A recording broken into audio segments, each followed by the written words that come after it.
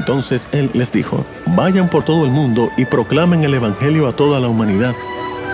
El que crea y sea bautizado será salvado, pero el que no crea será condenado.